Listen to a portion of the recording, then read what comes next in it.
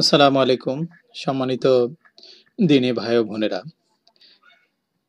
আমরা অনেকে লজ্জার কারণে বড় হয়ে গেছি যেজন্য আহ, লজ্জাবশত মানে লজ্জার কারণে কোনো হুজুরের কাছে কোরআন শিখতে যাচ্ছি না বা যারা পারে তাদের কাছে যাচ্ছি না অথবা আমরা যারা মানে বাবা মা আছি বা বড় আছি তারা যারা আমার পরিবারে যারা ছোট যারা কোরআন ভালো পড়তে পারে শুদ্ধ করে পারে সুন্দর করে পারে তাদের কাছে আমরা লজ্জার কারণে আমরা পড়তে পারছি না হ্যাঁ বা অনেকেই সুযোগ পাচ্ছেন না বা যারা শহরাঞ্চলে আছেন দেখা যায় যে আপনি আপনার সন্তানকে কোরআন শেখানোর জন্য ভালো হুজুর পাচ্ছেন না বা যারা বা ভালো পারে তাদের সাথে আপনার যোগাযোগ নেই বিভিন্ন কারণে আমরা অনেকে কোরআন তে- তেলাওয়াত করতে পারছি না বা ছোটকালে পড়েছেন, ভুলে গিয়েছেন। তো আমি আশা করি আজ আমি আপনাদের জন্য যে লেকচারটি তৈরি করতে যাচ্ছি, সেই লেকচারটি যে যেখানেই থাকেন আশা করি আপনারা যদি একটু মনোযোগ দিয়ে সময় দিন, আশা করি আপনারা সুন্দর এবং শুদ্ধভাবে পবিত্র কোরআন তেলাওয়াত করতে সক্ষম হবেন। তাই আমি এরই ধারাবাহিকতায় পবিত্র কোরআন কোরআনকে শুদ্ধভাবে পড়ার জন্য আমি আপনাদেরকে উদ্বুদ্ধ করার করার জন্য বেশ কয়েকটি লেকচার ইতিমধ্যে তৈরি করেছি, যেগুলো থেকে বুঝতে সব, বুঝতে সক্ষম হবেন। যে পূর্বের ভিডিওগুলো যদি আপনারা উপলব্ধি করেন, তাহলে সেই ভিডিওগুলোতে আমি যে আলোচনাগুলো করেছি, অর্থাৎ কোরআন কেন আমরা শুদ্ধ করে পড়ব, বা নামাজে মানে ভুল করলে কি ধরনের সমস্যা হয়, অর্থের কি ধরনের পরিবর্তন হয়, ওই বিষয়গুলো আমি ওখানে বিস্তারিত আলোচনা করেছি। আশা করি আপনারা সেই ভিডিওগুলো দেখে নেবেন। শুরু করা যাক। পবিত্র কোরআন পড়ার জন্য আমাদেরকে কি কি কাজ করতে হবে? হ্যাঁ। আমি সুরছন্দ দিয়ে পড়ব। আমার আপনাদের দৃষ্টি আকর্ষণ করার জন্য বা ছেলেরা ছোট বাচ্চাদেরকে মানে সুন্দরভাবে পড়ানো যায় আকর্ষণ সৃষ্টি করার জন্য সুরছন্দ দিয়ে পড়ব। পাঁচটি বিষয়ের ব্যবহার জানলেই কোরআন সারি পড়া যায়। এই কোরআন শারিফ না বলে আপনি কোরআন মাজিদ আহ, মাজিদও বলতে পারেন।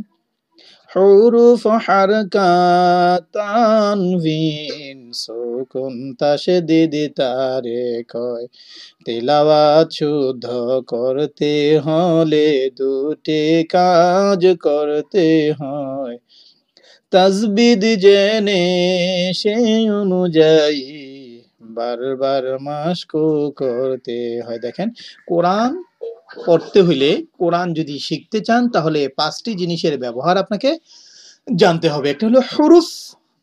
হুরুফ মানে যেমন বাংলায় সরেয়, সরেয়া, ইংরেজিতে এ, বি, সি, আরবিতে এরকম অক্ষর আছে। আলিফ বা তা এই অক্ষরগুলো যদি আপনি জানেন হ্যাঁ তাহলে কোরআন পড়তে পারবেন।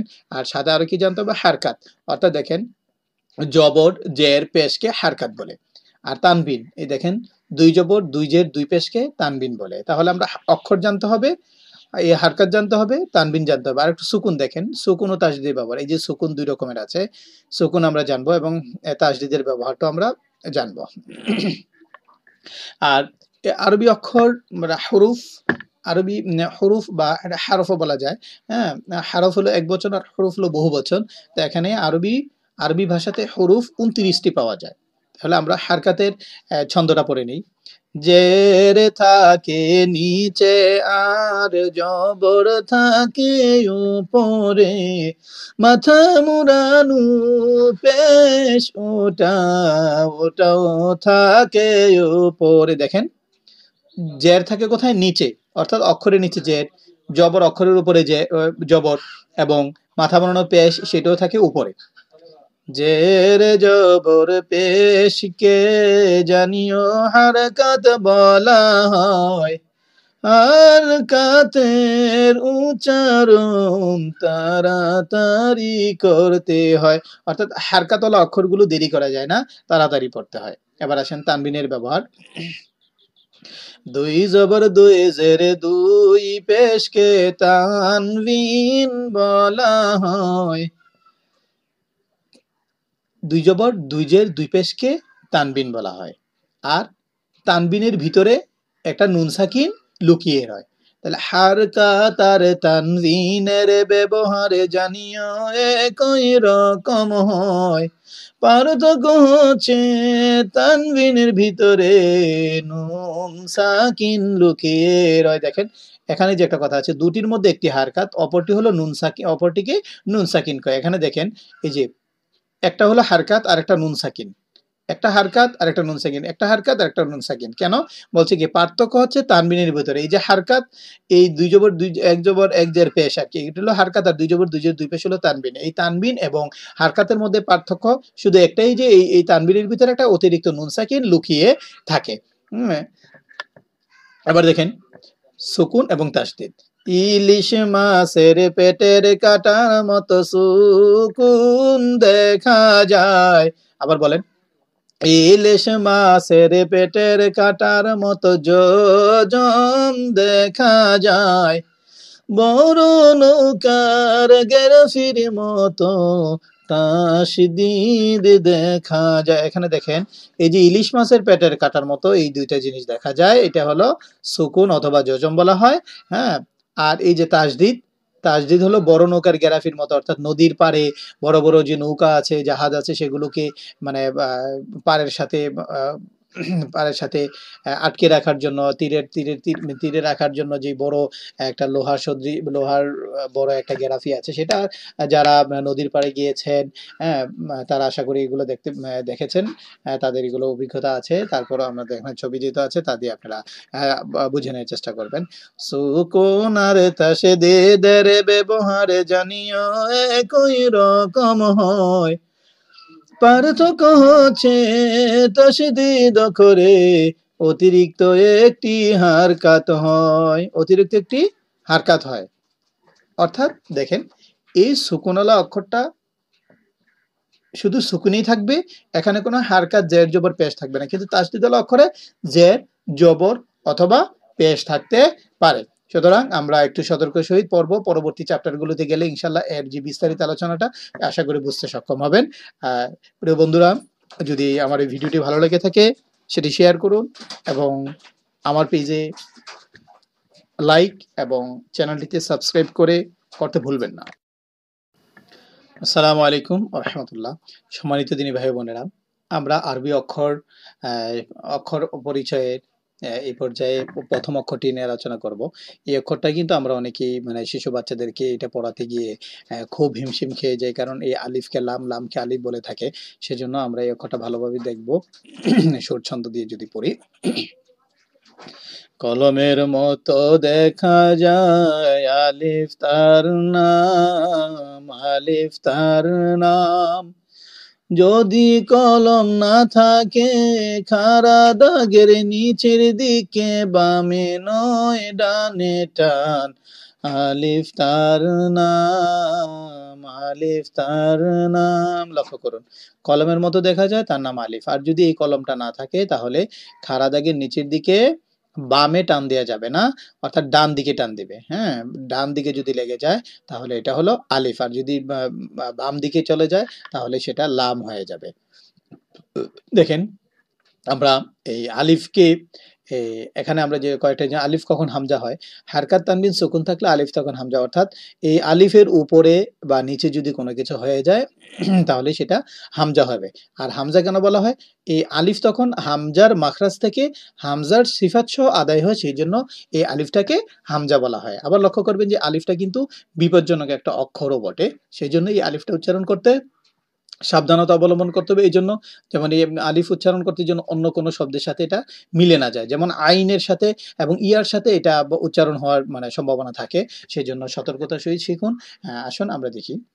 হামজা জবর আ, হামজা জের ই, হামজা পেশ উ, হামজা দুই জবর আন অথবা এখানে আ লাগবে নুনের সাথে আন, হামজা দুই জের ইন, ই লাগবে নুনের সাথে ইন হামজা দুই পেশ উন, উ লাগবে নুনের সাথে উন। এভাবে বলতে পারে। উ মানে হামজা পেশ উ, ই মানে হামজাদের ই, আ মানে হামজা জবর আ।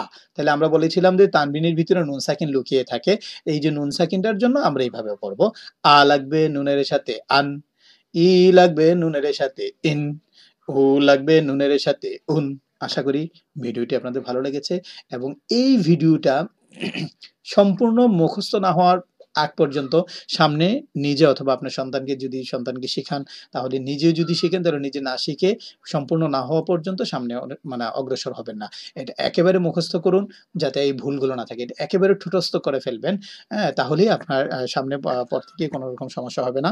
যদি ভিডিওটি ভালো লেগে থাকে, আপনি ভিডিওটি শেয়ার করে আপনার অন্যান্য ভাই বোনদেরকে জানিয়ে দিন এবং আমার এই পেজে লাইক এবং চ্যানেলটিতে সাবস্ক্রাইব করতে ভুল আসসালামু আলাইকুম সম্মানিত ভাই ও বোনেরা।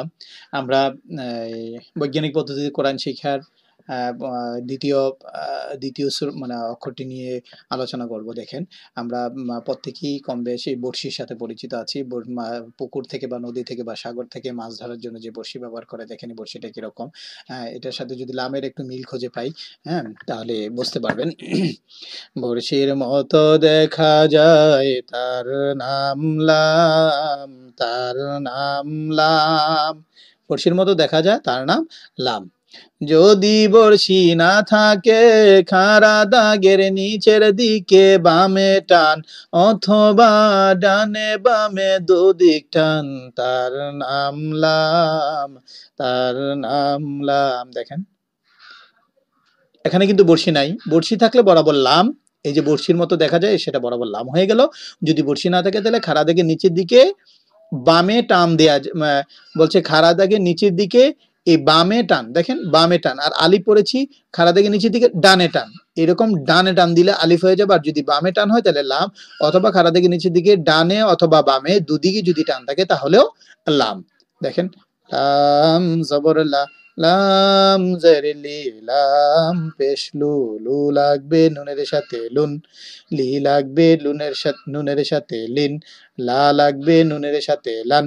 দেখেন লাম দি পেশ লুন, লাম দি জের লিন, লাম দি জবর লান, এইভাবে বলা যেতে পারে। হামজা জবর আলাম পেশলু আলু হামজা জবর আলাম জেরলি আলি। এখানে কিন্তু বানান ছাড়া পড়ার কথা, কিন্তু আসলে অনেকেই বানান ছাড়া পড়তে কষ্ট হয়, তাই আমি বানান করেই পড়ে দিচ্ছি। হ্যাঁ আপনি বানান ছাড়া যদি পড়েন, তাহলে এইভাবে পড়বেন, আ, লু, আ, লি, ই, লা লা, লি, লা, লু, এভাবে আমরা পড়ব। হামজা জের, ই, লাম, জবর, লা ইলা লাম, জবর, লা, লাম, জের, লি লালি লাম জবর লা লাম পেশ লু লালু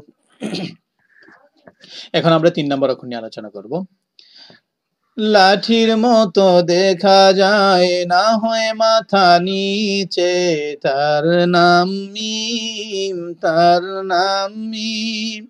লাঠির মতো দেখা যায়, না হয় মাথাটা নিচে। লাঠির মতো দেখা যায়, না হয় মাথা নিচে। লাঠির মতো দেখা যায়, তার নাম মিম বলা যেতে পারে। যদি লাঠি না থাকে, যার মাথা নিচে তার নাম মিম, এই ছন্দ পড়তে পারেন। তবে আমি শেষের ছন্দটাই মানে সরব, সঠিক মানে আপনাদের মনে রাখার জন্য বলছি, এটাই সহজ। লাঠির মতো দেখা যায়, না হয় মাথা নিচে তার নাম মিম। দেখেন, এখানে লাঠির মতো আছে।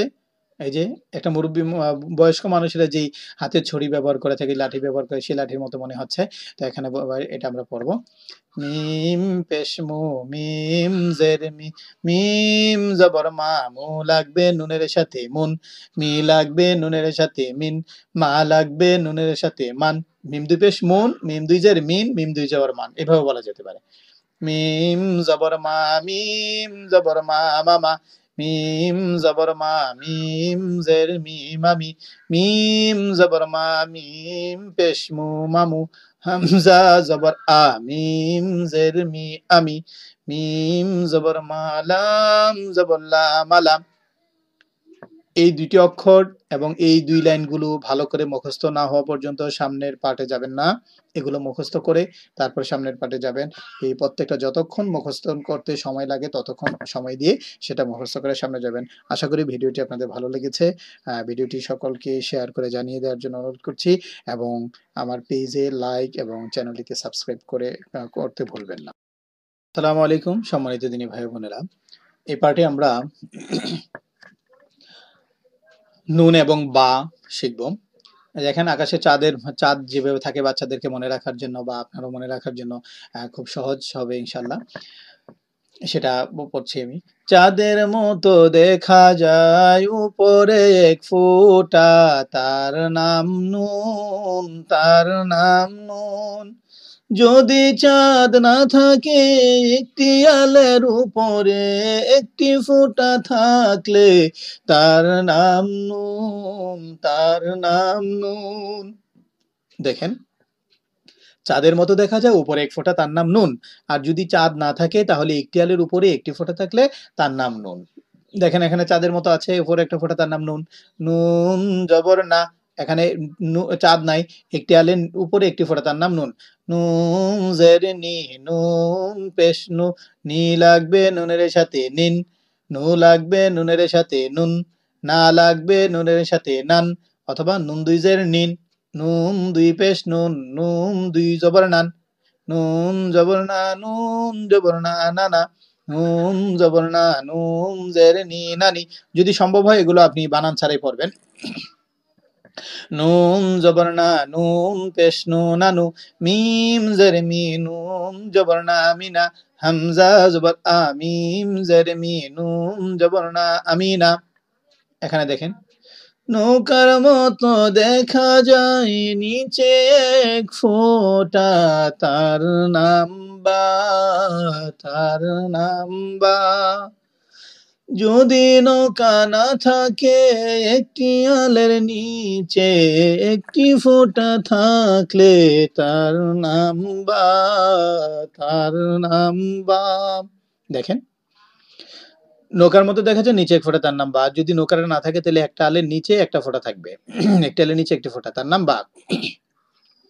বাজের বি বা পেশবু বা জবর বা বু লাগবে নুনের সাথে বুন, বা লাগবে নুনের সাথে বান, বি লাগবে নুনের সাথে বিন। বা দুই পেশ বুন, বা দুই জবর বান, বা দুই জের বিন, এভাবে বলা যেতে পারে। বা জবর বা বা জবর বা বাবা যদি সম্ভব হয় বানান ছাড়া পড়বেন। বা জবর বা বা পেশবু বাবু বা জবর বা লাম পেশলু বালু বাজের বি নুন জবর না বিনা, বাজের বি মিম জবর মা বিমা। সম্মানিত ভাই বোনেরা, এই দুটো পা, দুটো অক্ষর সম্পূর্ণভাবে মুখস্থ এবং ঠোঁটস্থ না হওয়া পর্যন্ত সামনের পাঠে অগ্রসর হবেন না। আশা করি এই দুটি অক্ষর ভালোভাবে সম্পূর্ণ করে আপনি সামনে যাবেন।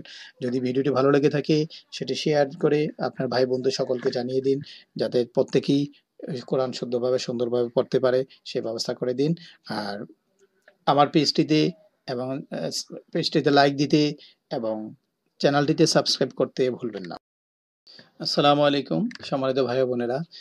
কোরআন শিক্ষার এই পাঠ, বৈজ্ঞানিক পদ্ধতিতে কোরআন শিক্ষার এই পাঠে আমরা তা এবং ফা নিয়ে আলোচনা করব। নৌকার মতো দেখা যায়, উপরে দুই ফোটা, তার নাম তা, তার নাম তা। যদি নৌকা না থাকে, একটি আলের উপরে দুইটি ফোঁটা থাকলে, তার নাম তা, তার নাম তা। দেখেন। নৌকার মতো দেখা যায়, উপরে দুইটি ফোঁটা, তার নাম তা। যদি নৌকাটা এভাবে না থাকে, তাহলে একটি আলের উপরে দুইটি ফোঁটা থাকবে, তার নাম তা। তা পেশ তু, তা জবর তা লাগবে নুনের সাথে তিন। তু লাগবে নুনের সাথে তুন, তা জের তি লাগবে নুনের সাথে তান। দেখেন, তা দুই জের তিন, তা দুই পেশ তুন, তা দুই জবর তান। বানান ছাড়াও, বানান ছাড়া পড়ার চেষ্টা করবেন। মিম, মা, তা এভাবে পড়তে পারবেন। তবে আপনারা প্রথম অবস্থা বিধায় আমি একবার এগুলো পড়ে দিচ্ছি। আপনারা বানান ছাড়াই পড়ার চেষ্টা করবেন। যদিও প্রথম এক দুইবার বানান করা লাগতেও পারে, তাহলে বানান ছাড়া পরবর্তীতে পড়ার চেষ্টা করবেন। মিম, জবর মাতা, জবর তা মাতা, তা জবর তা মিম, জবর মাতা মা, তা জবর তা তা জের তি তাতি তা জবর তালাম, জবর তালা, তা জের তি নুন জের নি তিনি সম্পূর্ণভাবে মুখস্থ না করে পরের অক্ষরে যাবেন না। নৌকার মতো দেখা যায়, উপরে তিন ফোঁটা, তার নাম ফা, তার নাম ফা। ফা উচ্চারণ করতে জিব্বার মাথার আগাটা উপরে দুই দাঁতের আগার সাথে লাগিয়ে দিবেন, ফা। সা যেন না হয়। হ্যাঁ অন্য অক্ষর যেন না হয় সেই জন্য খেয়াল রাখবেন, জিব্বার আগাটা উপরের দুই দাঁতের আগার সাথে লাগিয়ে উচ্চারণ করবেন। যদি নৌকা না থাকে, একটি আলের উপরে তিনটি ফোঁটা থাকলে, তার নাম সা তার নাম সা সা সু, সা সি, সু লাগবে নুনের সাথে সুন সা লাগ, সা জবর সা, সি লাগবে নুনের সাথে সিন। সা জবর সা সা লাগবে নুনের সাথে সান। সা দুই পেশ, সুন। সা দুই জের, সিন। সা দুই জবর, সান। সা জবর সা, তা জবর তা সাতা সা জের, সি মিম জবর মা সিমা সা জবর সা নুন জের নি সানি, সা পেশ সু মিম জের মি সুমি, সা জবর সা মিম জের মি নুন জবর না সামিনা আশা করি অক্ষরটি একেবারে মুখস্থ এবং ঠোঁটস্থ করেই আপনি সামনের দিকে যাবেন। আর যদি ভিডিওটি ভালো লেগে থাকে, সেটি শেয়ার করে অন্যান্যদেরকে জানিয়ে দিন এবং আমার পেজে লাইক এবং চ্যানেলটিতে সাবস্ক্রাইব করতে আসসালামু আলাইকুম, সম্মানিত ভাই বোনেরা। আমরা অক্ষর পরিচয়ের এ পর্যায়ে র এবং ঝা নিয়ে আলোচনা করব। কাচির মতো দেখা যায়, তার নাম র, তার নাম র। ধান কাটার জন্য বা ঘাস কাটার জন্য যে কাঁচি ব্যবহার করি, সে কাঁচির মতো দেখা যায়, তার নাম র। র পেশুরু র জেরি র জবর, রু লাগবে নুনের সাথে, রুন রি লাগবে নুনের সাথে রিন র লাগবে নুনের সাথে রন রুন রদুই পেশ রুন রদুই জের রিন রদুই জবর রন র পেশ রু, মিম জের মি, র জের রি মিম জবর মা। রুমি রিমা র পেশ রু, বা জের বি রুবি নুন জের নি, র পেশ রু নিরু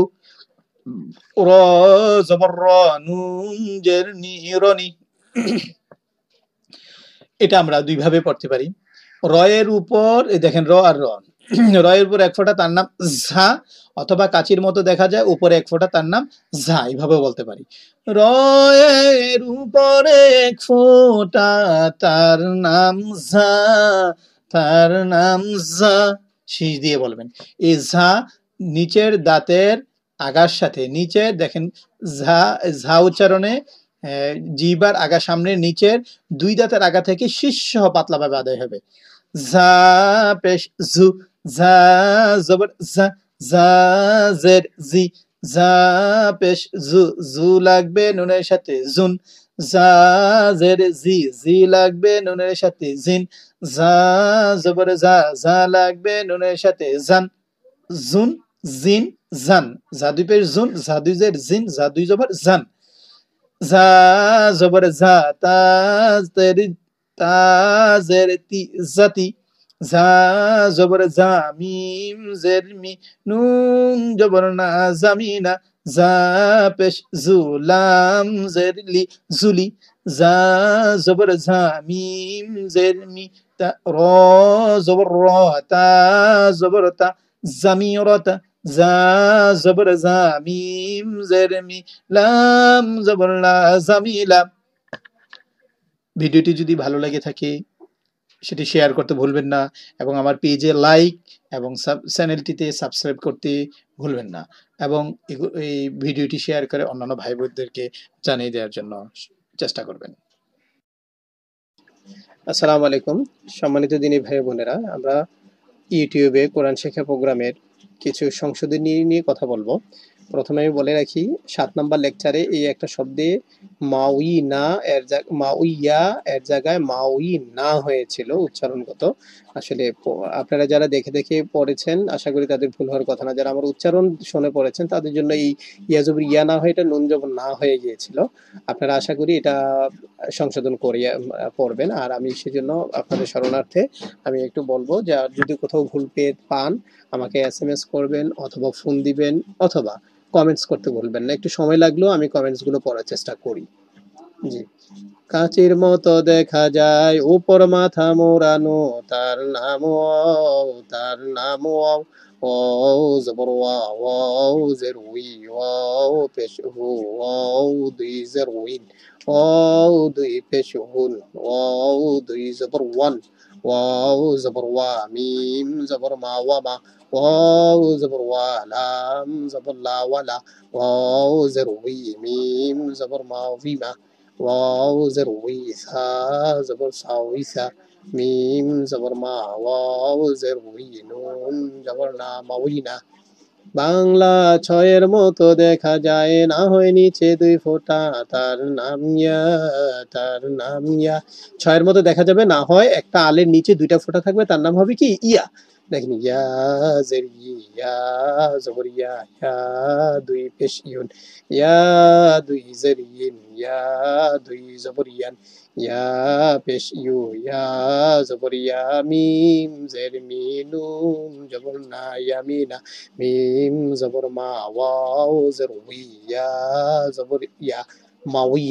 সা বা জের বিয়া জবর ইয়া সাবিয়া র পেশরু বা জের ইয়া জবর রুবিয়া তা জবর তা ইয়া জের মিম জবর মা তা ইমা আগের যে ভুলটা হয়েছিল মাউই ইয়া এর জায়গায় মাউই না হয়েছিল, শুধুমাত্র উচ্চারণগত।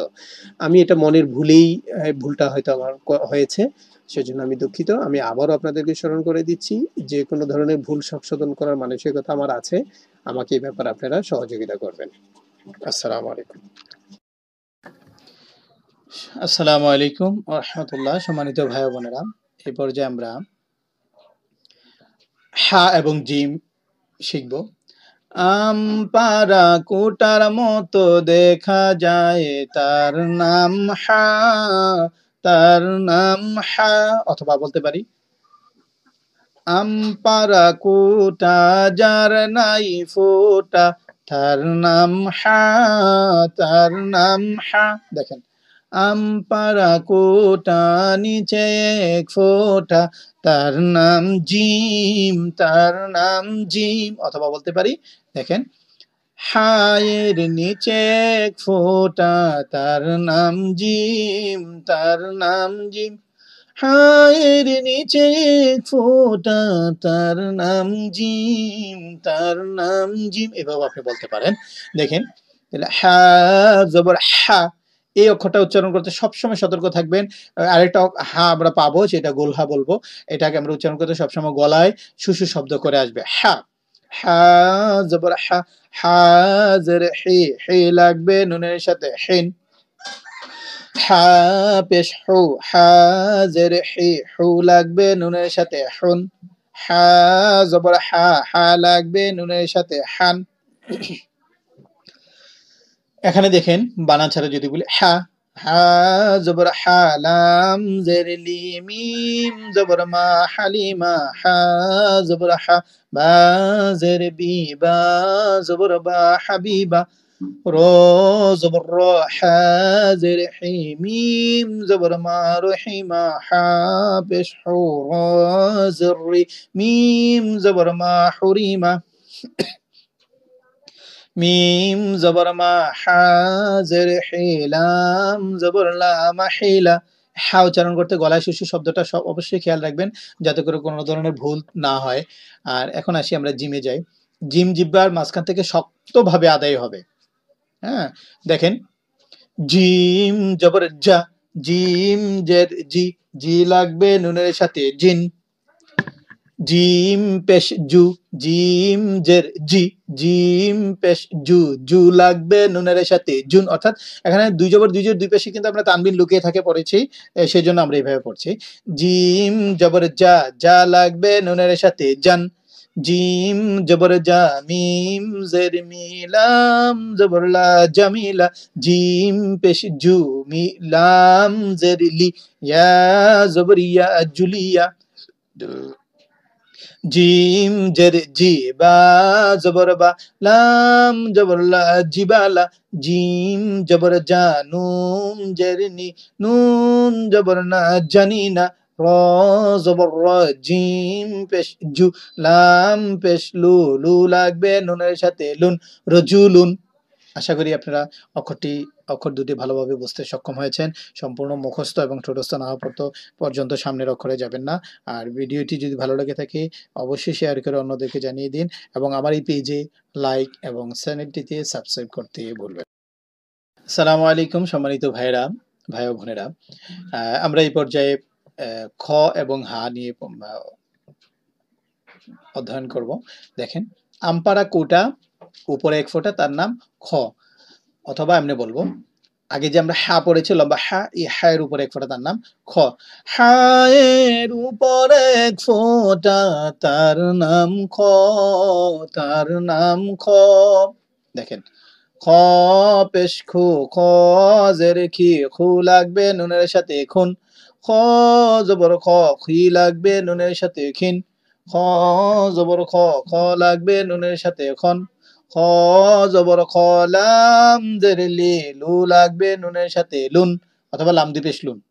খলিলুন খ জবর খ মিম জের মি সা জবর সা, খমিসা, বা পেশ বু খ জের খি, লাম জবর লা বুখিলা খ জবর খ, তা জবর তা, মু লাগবে নুনের সাথে মুন খতা মুন, অথবা মিম দুই পেশ মুন।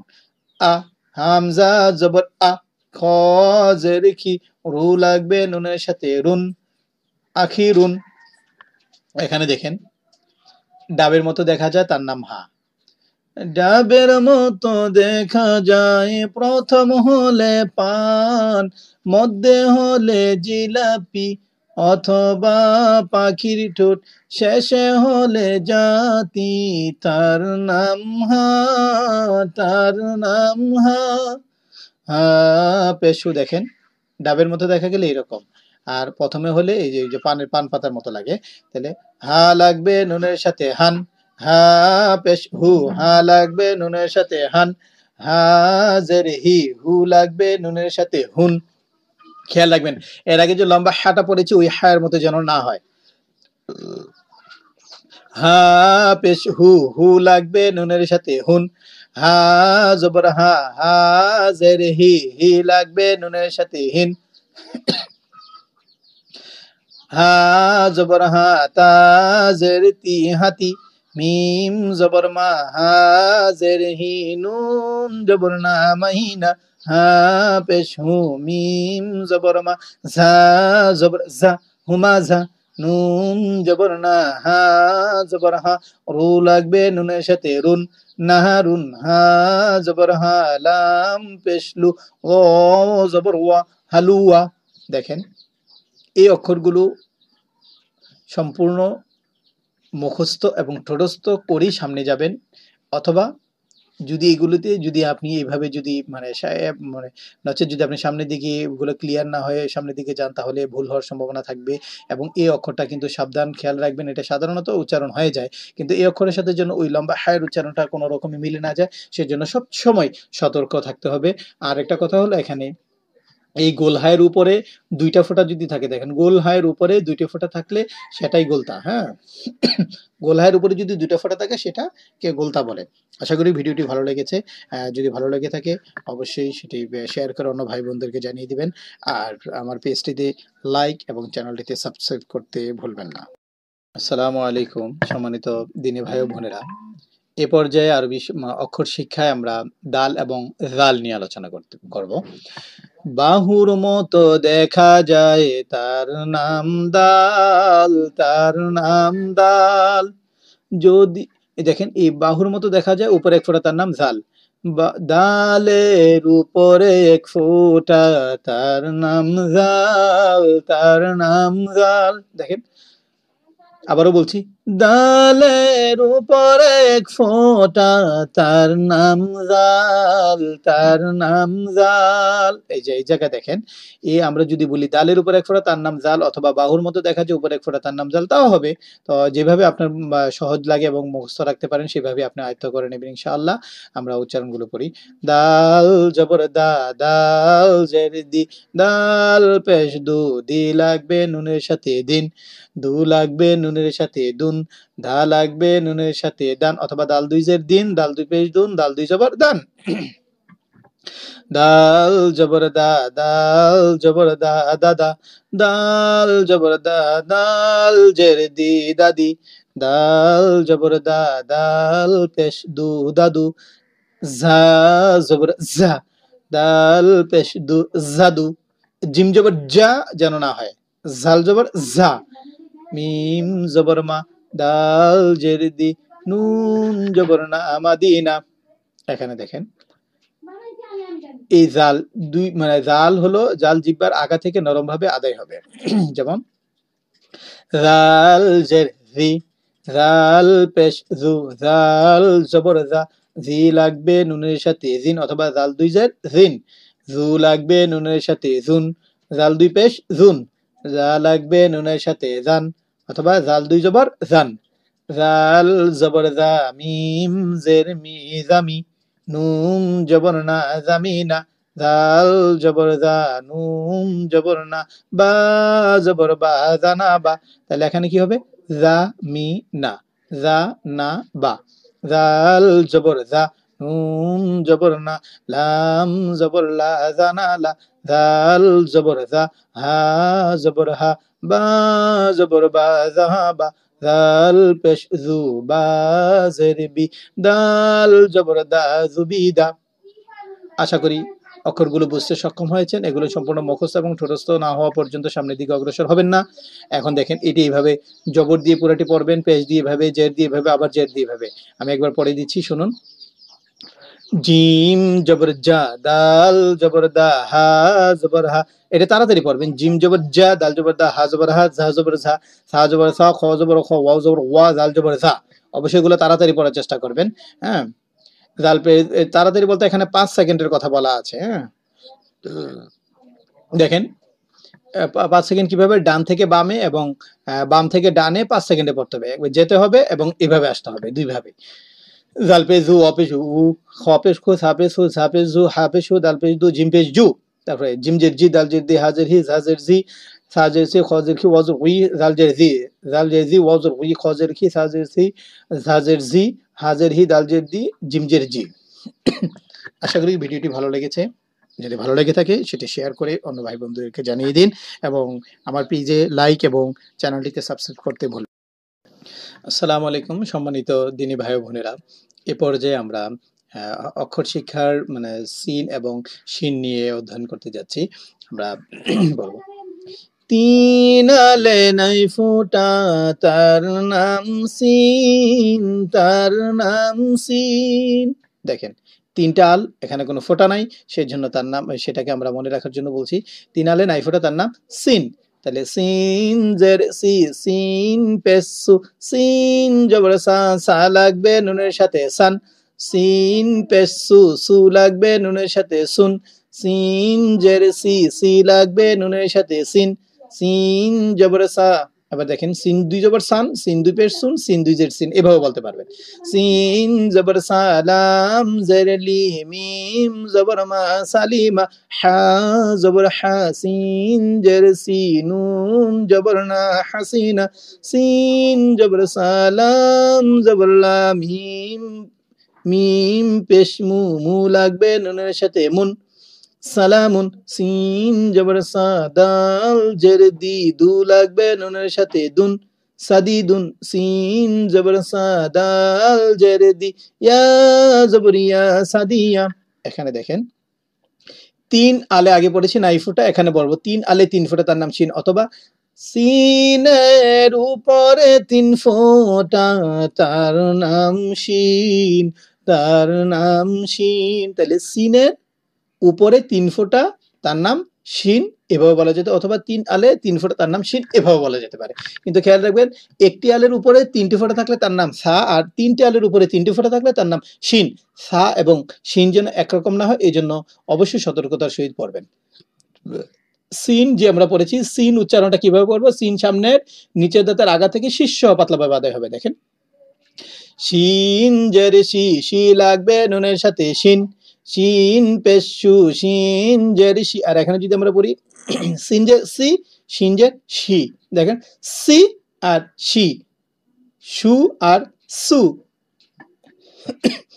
সা আর পার্থক্য আছে কিন্তু।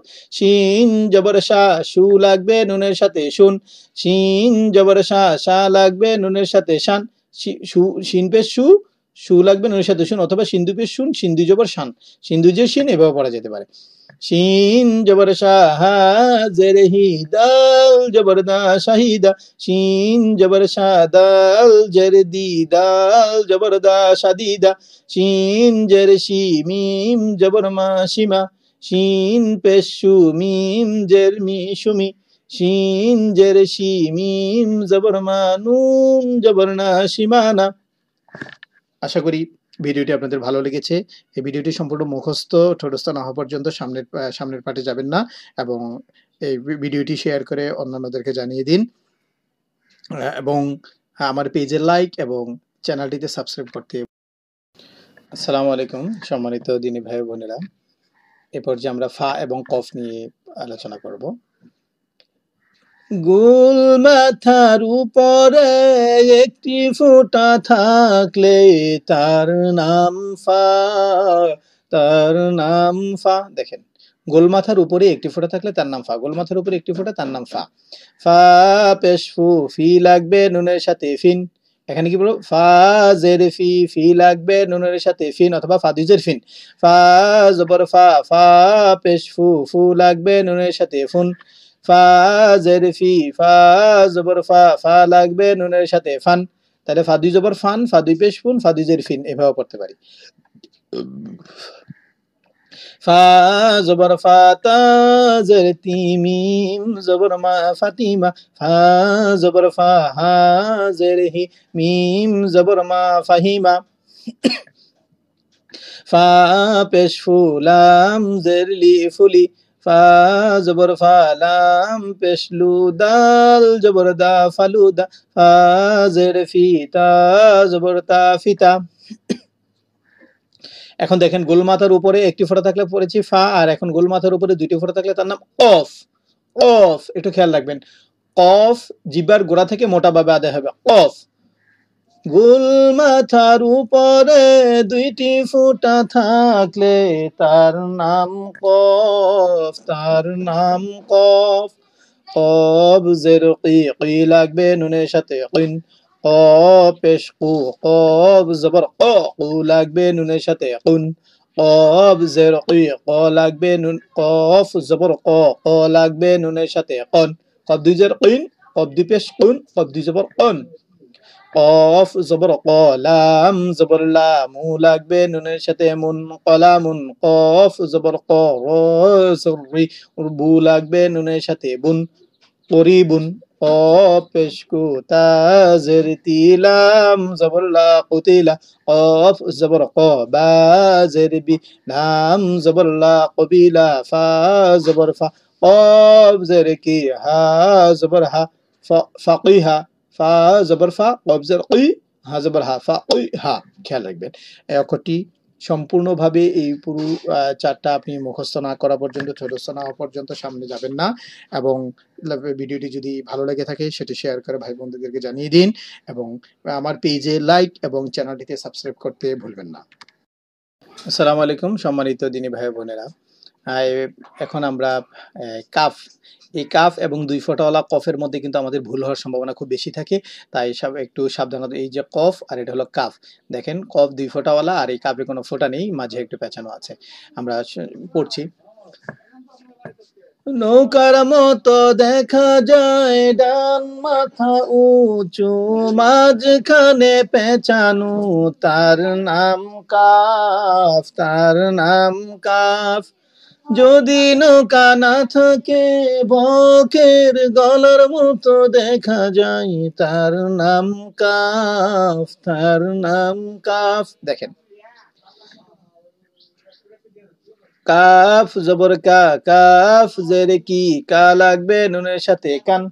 কা পেশকু কি লাগবে নুনের সাথে কিন। কা পেশকু কু লাগবে নুনের সাথে কুন? অথবা দেখেন কাবদি জবর কান কাবদি জের কিন, কাবদি পেশ কুন।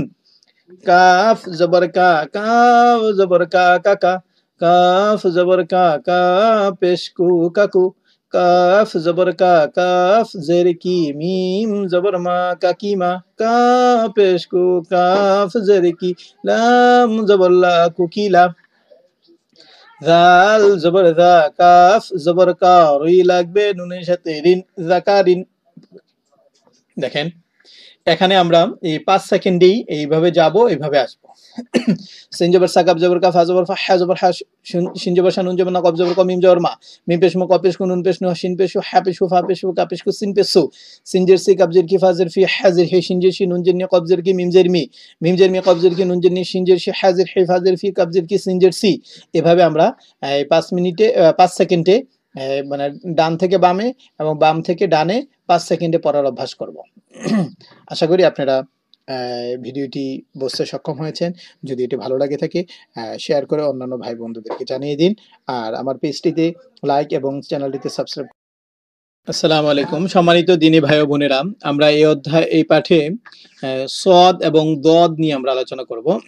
দেখেন এই যে কলসির কলসিটা গাছে মানে খেজুর গাছে যেভাবে বেঁধে দিয়েছে যে কলসির গলার রশিটা যেরকম পেঁচানো দেখেন এই সোয়ারটাও কিন্তু সেরকম। মনে রাখার জন্য আমরা আহ, এই ছন্দটাকে খুব ভালোভাবে পড়ব কলসির গলা রশির মতো দেখা যায় তার নাম সৎ তার নাম সৎ কলসির গলা রশির মতো দেখা যায়। তার নাম স, তার নাম স। দেখেন, কলসির গলা রশির মতো দেখা যায়, তার নাম সদ। সদ জবর স, সদ জবর সি। লাগবে নুনের সাথে সিন সুল, সদ পে সু সু লাগবে নুনের সাথে সুন সদ জবর সি সিল সদ জবর স স লাগবে নুনের সাথে সন অথবা স দুই জবর সন। সদ দুই সদ দুই পে সদ সুইন। হ্যাঁ। উচ্চারণ কেমন হবে দেখেন। সদ সামনের নিচের দাঁতের আগে থেকে শীর্ষ মোটাভাবে আদায় হবে। আর আমরা সিন পড়েছিলাম, সামনে নিচের দাঁতের আগে থেকে শীর্ষ, পাতলা ভাবে আদায় হবে। কিন্তু সদ মোটা ভাবে, সিন পাতলা ভাবে। এই জন্য সিন জবর সা সদ জবর স। দেখেন স জবর স, হা, জের, হি, ফা, জবর ফা সহিফা জবর স লাম জের লি হাউ লাগবে নুনের সাথে, হুন সলিহুন স জবর স, মিম জবর মা, দু লাগবে নুনের সাথে, দুন সমাদুন বা জবর বা স জবর স, দু লাগবে নুনের সাথে, লুন বাসালুন বা জবর বা স জরুসি রু লাগবে নুনের সাথে, রুন বাসিরুন এখানে দেখেন সদের উপরে ফোঁটা তার নাম দত, তার নাম দত। দেখেন, এই যে দত সামনের দাঁতের সাথে না লাগাইয়া হ্যাঁ জিহ্বার গোড়ার বাম পাশের কিনারা, উপরের মারির দাঁতের গোড়া থেকে হ্যাঁ মারির দাঁতের গোড়া থেকে মোটা ব্যাপার দেবে। অর্থাৎ মারির দাঁতের জিবার জিবার পাশের কিনারাটা কি করব? মারির দাঁতের মানে অর্থাৎ গালচাপার দাঁতের গোড়া থেকে লাগাইয়া মোটা ভাবে আদায় করব। আর এটাকে জয়ের মতো মানে আদায় হয়ে যায় হ্যাঁ? সেই জন্য আমরা যেন জ না বলি জ বলা যাবে না। জ বললে কিন্তু অক্ষর পরিবর্তন হয়ে যাবে গুণা হবে। তা আমরা বলবি বলি, দ, দুই লাগবে নুনের সাথে দিন, অথবা দ দুই যার দিন দ দুই পেশ দুন দ দুই জবর দন ضاد جر ضي ضاد جبر ضا ذو لا ضاد পেশ দু দেখেন ضاد জবর দ লাম জবর লা লাম পেশ লু লু লাগবে নুনের সাথে লুন ضلالun ضاد পেশ দু র জর রিবা জবর বা ضيبا ضاد পেশ দু র জর রিবা জবর বা তু লাগবে নুনের সাথে তুন দরিবাতুন আবার দেখেন, এই যে গোলতা যদি আমরা কখনো মানে যখন কোরআন তেলাওয়াত করতে যাব, এরকম গোলতা যদি পাই এবং সেটাতে যদি আমরা দম ফেলি তাহলে কিন্তু এখানে এটা পরিবর্তন হয়ে হা হয়ে যায়। এখানে তা দুই পেশ তুনি আমরা পড়ব। মনে রাখার জন্য পরবর্তীতে যদি এটা আসে সহজে সহজে যেন আপনি মনে রাখতে পারেন ওইটা দেখলে যেন বুঝতে পারেন সেই জন্য ব্যাপারটা বলে দিলাম। দ, জবর, দ, র, জবর, র, বা, জবর বা। ضربا বা ফা জবর ফা ضاد জবর দি লাম জবর লা ফাদিলা আশা করি আপনারা ভিডিওটি বুঝতে পেরেছেন এবং ভিডিওটি ভালো লাগলে আহ, অন্যদেরকে শেয়ার করে জানিয়ে দিন এবং আমার পেজে লাইক এবং চ্যানেলটিতে সাবস্ক্রাইব করতে ভুলবেন না আসসালামু আলাইকুম সম্মানিত ভাই ও বোনেরা আমরা এখন ত এবং জ শিখব তালের পাখার মতো দেখা যায়, তার নাম তো, তার নাম তো, তালের পাখার মতো দেখা যায়, তার নাম ত ত, তা তা আর ত জবর ত, খেয়াল রাখবেন, এই দুই ফোঁটাওয়ালাটা যদি আমরা পাই, যেমন এখানে তা নেই অবশ্য। তো আমরা যে পূর্বে আলিফের পরে বা বায়ের পরে যে তা পড়েছি, সেই তা দুই ফোঁটাওয়ালা তা হ্যাঁ একটি আলের উপরে দুইটি ফোঁটা থাকবে তার নাম তা যেটা পড়েছি, তা জবর তা পড়ব আর এখানে ত জবর ত পড়ব। তা, ত জবর তা যেন না হয়, তাইলে কিন্তু ভুল হয়ে যাবে। সেজন্য এই তটা পড়তে মানে ত জিব্বার আগা, হুম ত জিব্বার আগা থেকে মোটাভাবে আদায় হবে। অর্থাৎ সামনের উপরে দুই দাঁতের গোড়ার সাথে লাগাইয়া হ্যাঁ জিব্বার আগাটা সামনে দুই দাঁতের গোড়ার সাথে লাগাইয়া মোটা করে পড়লেই শুদ্ধ হয়ে যাবে।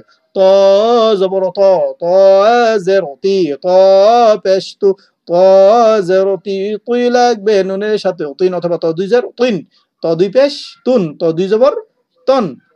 ত জবর ত বা জের বিলাম জবল্লা তবিলা ত জবর ত বা জবর বা কফ জের কি কি লাগবে নুনের সাথে কিন তবাকিন ইয়া জবর ইয়া ত পেশ তু বা পেশ বু ইয়াতুবু ত জবর ত র জের রি কফ, জবর ক ক লাগবে নুনের সাথে কন তরিকন ত জবর ত লাম জবর লা বা পেশ বু বু লাগবে নুনের সাথে বুন তলা বুন দেখেন। এরপরে আসেন। তয়ের উপরে ফোঁটা, তার নাম জ, তার নাম জ, অথবা বলব, তালের পাখার মতো দেখা যায়, উপরে ফোঁটা, তার নাম জ, তার নাম জ। জ দুই জার, জিন, অথবা জি লাগবে নুনের সাথে, জিন। জ জ। পেশ, জু জু লাগবে নুনের সাথে, জুন, অথবা জ দুই পেশ, জুন। জের, জি, জ, পেশ, জু, জ দুই জবর জন। এরপর আসেন, জ, জবর লাম জবর লাগবে নুনের সাথে, মুন, জলামুন, অথবা মিম দুই পেশ মুন, জলামুন।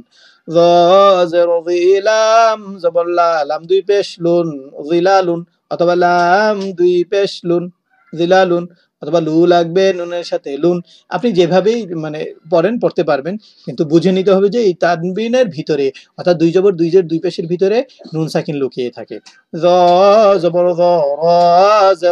নুন জবর না জরিনা জ জবর زبر ذا হা জবর হা র পেশ রু রু লাগবে নুনের সাথে রুন। জহারুন জ জবর জ হা জের হি রু লাগবে নুনের সাথে রুন। জহিরুন দেখেন, এই জ, জিব্বার আগা থেকে, জিব্বার আগা উপরে দুই দাঁতের আগার সাথে লাগিয়ে মোটাভাবে আদায় করতে হবে। জ উচ্চারণ করতে যেমন ঝা যেন না হয়, এই ব্যাপারে আমাদেরকে সতর্ক থাকতে হবে।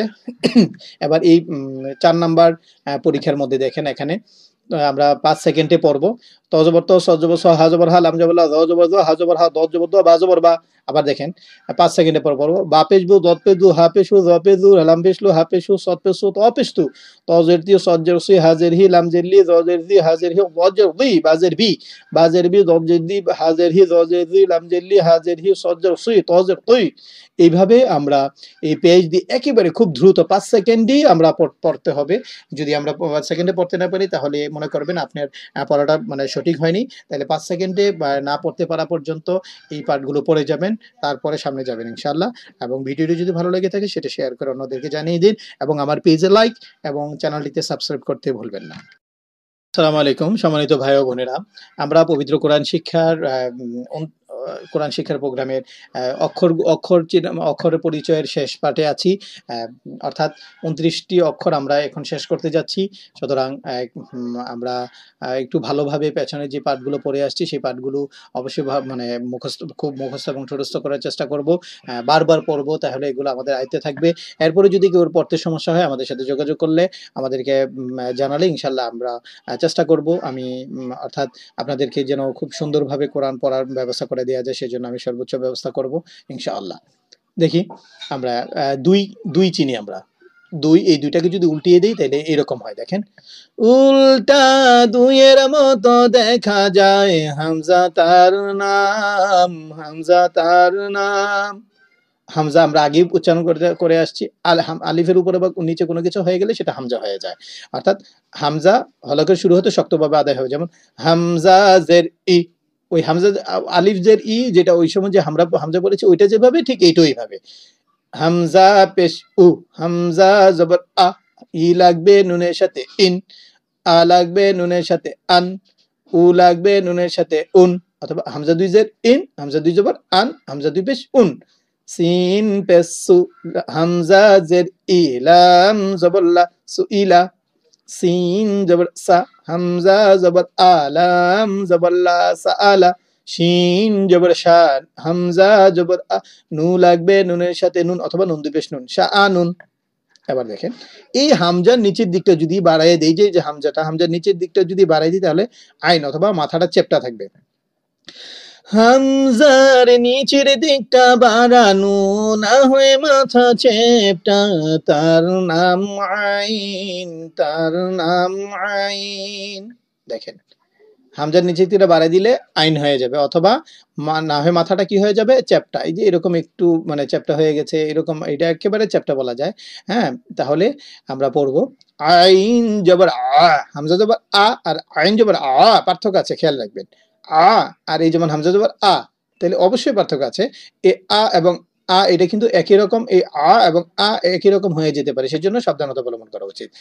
আইন পেশ উ উ লাগবে নুনের সাথে উন। আইন জবর আ লাগবে নুনের সাথে আন। আইন দুই পেশ উন অথবা আইন দুই জবর আন। আইন দুই জের আইন। ই লাগবে নুনের সাথে আইন, এইভাবে বলা যেতে পারে।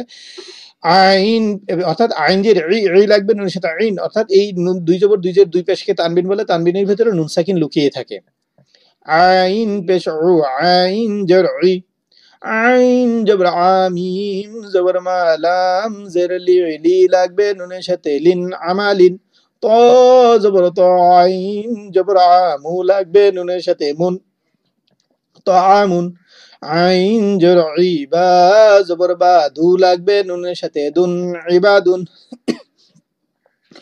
আইন জবর আবা জের বি দু লাগবে, নুনের সাথে দুন আবিদুন বা জবর বা আইন জবর আসা জবর সা, বা সা সা জিব্বাটা আগা থেকে কিন্তু সাবধানে, এর অবশ্যই সাবধানতা অবলম্বন করবেন।